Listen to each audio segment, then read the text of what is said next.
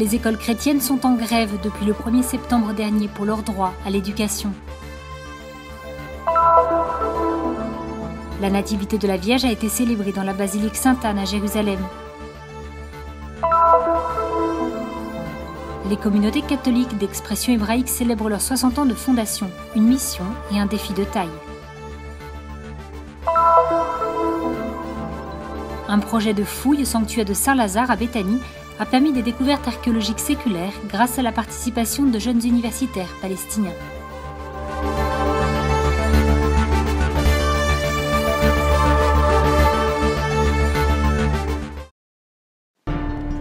Les écoles chrétiennes d'Israël cette année n'ont pas ouvert leurs portes à la rentrée. La grève en effet a commencé le 1er septembre, coïncidant avec l'ouverture de l'année scolaire. Une grève à durée indéterminée pour protester contre les politiques considérées comme discriminatoires de l'État juif à leur encontre. Le 1er septembre est pour nous et pour toutes les écoles en Israël un jour de fête. J'ai toujours aimé la rentrée des classes primaires. La rentrée dans la classe est pleine d'émotions. Nous avons fait tous les préparatifs pour ce premier jour d'école. Mais malheureusement, nous avons dû les priver de rentrer et de célébrer cette journée importante. À l'origine de la manifestation, les contraintes budgétaires imposées par le gouvernement, un différent qui dure depuis des années, depuis la brutale diminution des subventions publiques à hauteur de 45%, obligeant les écoles à augmenter les frais de scolarité pour les familles. Nous défendons les droits des enfants arabes, les chrétiens, musulmans et druzes qui fréquentent nos écoles. Nous souffrons de discrimination raciale. Nos écoles chrétiennes négocient depuis deux ans avec le ministère pour faire valoir les droits fondamentaux de leurs étudiants arabes palestiniens en Israël. Les différentes manifestations qui ont été organisées soulignent la gravité de la situation et la présence de tous ces gens montre que c'est là une cause juste.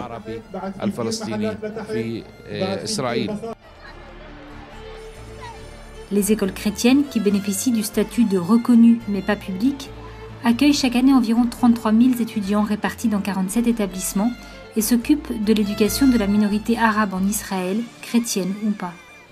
La plupart existaient déjà avant la fondation de l'État d'Israël et sont considérés comme de plus haut niveau dans tout le pays, selon le classement de qualité établi par le ministère.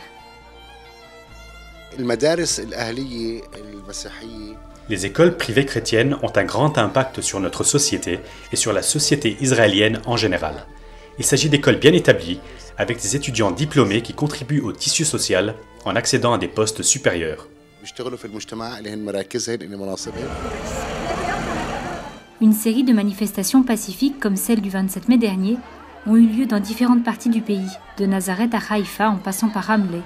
La protestation est arrivée ensuite jusqu'à la ville sainte, aux portes du ministère de l'Éducation, lorsque des centaines de manifestants, 110 autobus venus de toutes les régions du pays, ont protesté ce dimanche. Nous sommes ici pour faire entendre notre voix, parce que c'est un État démocratique et nous leur demandons de nous écouter. Aujourd'hui, je suis venu ici manifester avec mon fils contre la négation abusive d'un droit fondamental, le droit à l'éducation. C'est une cause juste, tous ceux qui ont pris la parole aujourd'hui ont prouvé que ce que nous demandons est juste. Nous réclamons justice et égalité. Le problème est qu'il y a en Israël une loi qui doit être appliquée. Et actuellement, elle n'est pas respectée. Voilà le problème. La loi en Israël doit soutenir les écoles chrétiennes, assumant tous les frais des élèves. Nos écoles sont religieuses, elles existent depuis la création de l'État d'Israël. Et nous respectons la loi. Nous demandons que la loi soit appliquée. Nous ne demandons ni aide, ni privilège, ni miséricorde. Nous ne faisons que dire qu'il y a une loi, laquelle doit être appliquée à tous.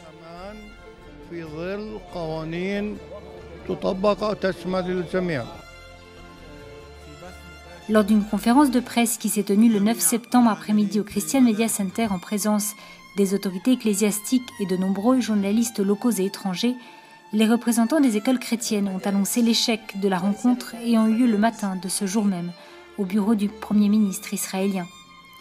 Les propositions mises sur la table des négociations par l'État juif, consistant à dédommager les familles à hauteur de 5% et à donner aux écoles la possibilité de demander à ces dernières une plus importante contribution, raison qui a provoqué la grève, ont été...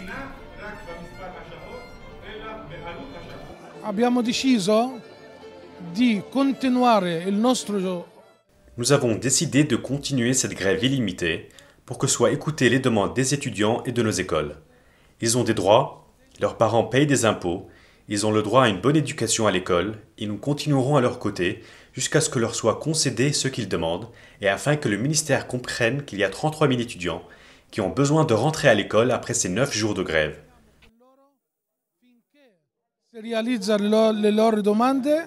eh, finché anche il Ministero eh, capisce che questi sono 33.000 studenti che hanno bisogno di essere nelle scuole attualmente, dopo nove giorni di sciopero. Uh, Il est très triste de voir que les négociations entre les écoles chrétiennes et les divers ministères des Finances, de l'Éducation et avec le bureau du Premier ministre ont échoué aujourd'hui.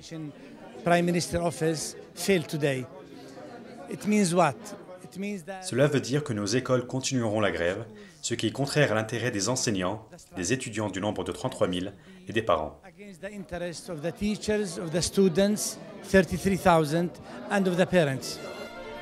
Une série de manifestations pacifiques est ainsi prévue pour sensibiliser au maximum l'opinion publique aux problèmes des écoles chrétiennes.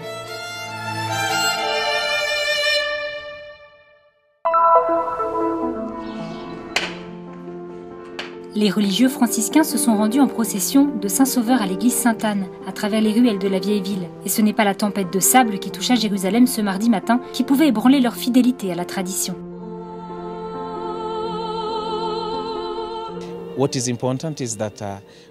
Il est important d'essayer d'apprendre de chaque situation auquel nous sommes confrontés. Nous sommes venus célébrer au lieu de naissance de Marie, notre mère, là où tout a commencé. La fête a été marquée par la célébration eucharistique à la basilique Sainte-Anne en présence de fidèles locaux et de groupes de pèlerins.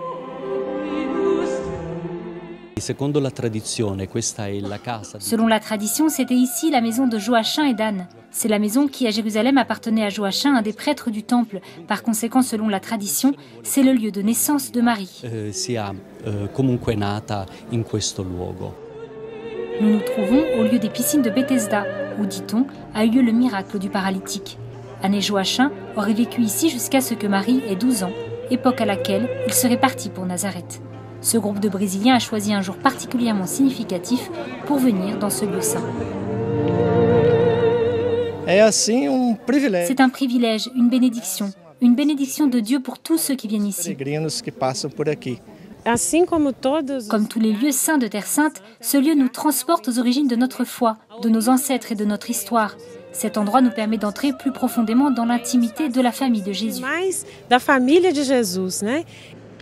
L'endroit où Marie est née et où elle a fait ses premiers pas respire une enfance de tendresse. Il nous renvoie à l'enfance de la petite fille que Dieu a désignée pour former la Sainte Famille.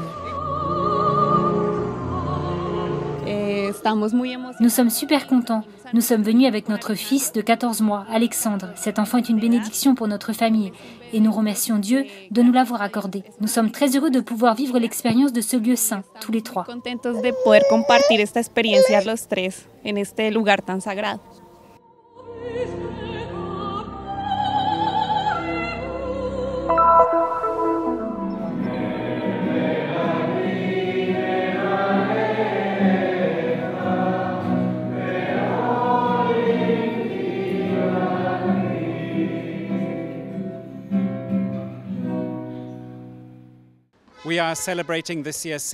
Nous célébrons cette année les 60 ans de fondation de l'œuvre Saint-Jacques, qui a marqué la naissance de la communauté catholique d'expression hébraïque. En 1955, le patriarche Gori a promulgué les statuts de l'œuvre, statuant les objectifs de la communauté.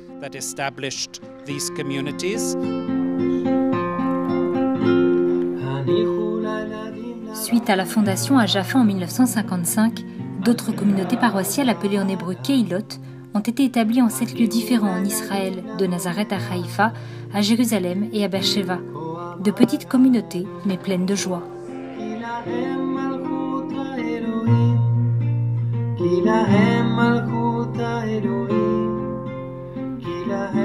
Être des croyants en Jésus qui parlent l'hébreu, vivre au cœur de la société juive et de l'église locale, en étant une communauté ouverte et accueillante à tous, et transmettre la foi aux nouvelles générations. Tels sont les défis auxquels les communautés font face aujourd'hui, chacune là où elles se trouvent. Telle est leur mission et ce vers quoi elles se dirigent. Pour moi, ça a été très important de trouver quelque chose qui est devenu une église, en étant au cœur du peuple juif dont nous faisons partie. Peu à peu, nous avons vu comment ça s'est développé. 60 ans de bonheur, de souffrance, d'amour pour les autres et de partage. Une joie qui a dépassé les frontières du pays. Nous célébrons avec grande joie les dons que Dieu nous a donnés. Parmi ces dons, la bénédiction apostolique que le pape François nous a envoyée par une lettre, écrite par le cardinal Pietro Parolin, le secrétaire d'État, où le Saint Pape nous félicite, où il dit qu'il prie avec nous et nous demande de continuer à développer notre mission afin de devenir un instrument de paix et de dialogue dans la société où nous vivons. Pour cela, cette année sera vraiment une année de célébration. For peace and dialogue within the society in which we live, and so a real year of celebration.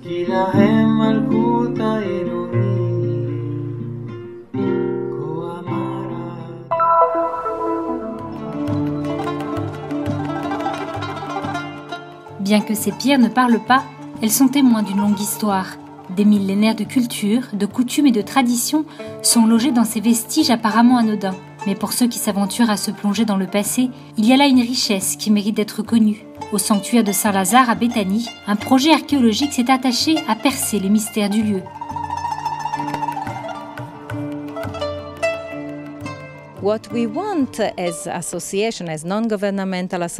Ce que nous souhaitons en tant qu'association non gouvernementale et avec le soutien de la custodie de Terre Sainte, c'est élargir et améliorer la visite des pèlerins en ce lieu afin de leur faire découvrir pourquoi il est si important. Nous sommes près de la tombe de Lazare, un lieu très important pour les chrétiens.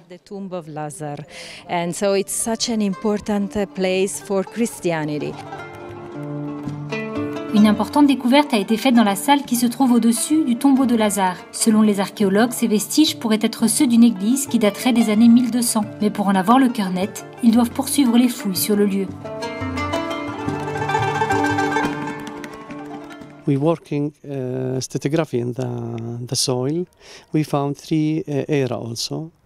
Euh, nous poursuivons les recherches par l'étude stratigraphique du terrain, grâce à laquelle nous avons découvert des traces de différentes périodes, de l'époque croisée, Ayoubide, Mamelouk et l'Empire ottoman.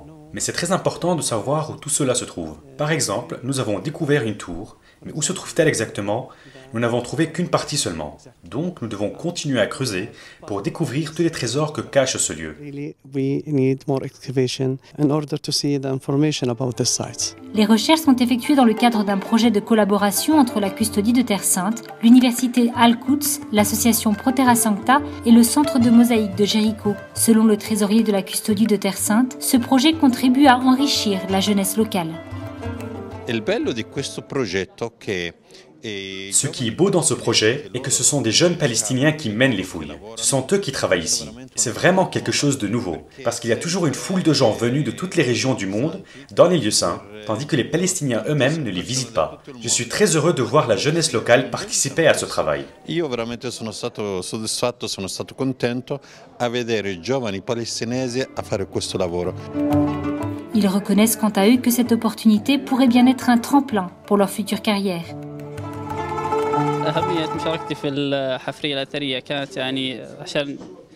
C'est important de participer à des fouilles pour acquérir de l'expérience dans ce domaine et de faire la découverte de choses encore inconnues, des anciennes cultures et civilisations.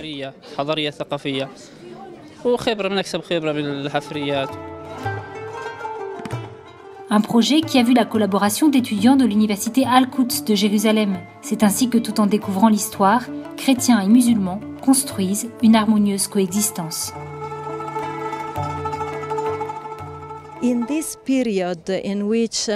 En cette période où musulmans et chrétiens semblent être toujours en lutte, nous souhaitons faire passer le message que ce n'est pas vrai partout. Dans de nombreux cas, chrétiens et musulmans vivent ensemble, en partageant le même patrimoine culturel, la même vie, et en s'aimant les uns les autres. Christians and Muslims have been living together, sharing cultural heritage, sharing life and loving each other.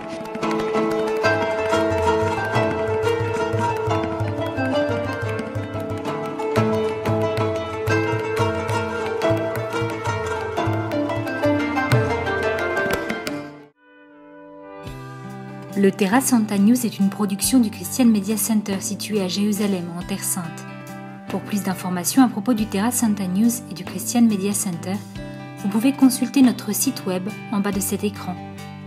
Vous serez également en mesure de souscrire à notre newsletter, d'apprécier des vidéos en direct de la Terre Sainte, ainsi que de visiter nos pages Facebook et YouTube et nous suivre sur Twitter. Venez visiter le site du Terra Santa News.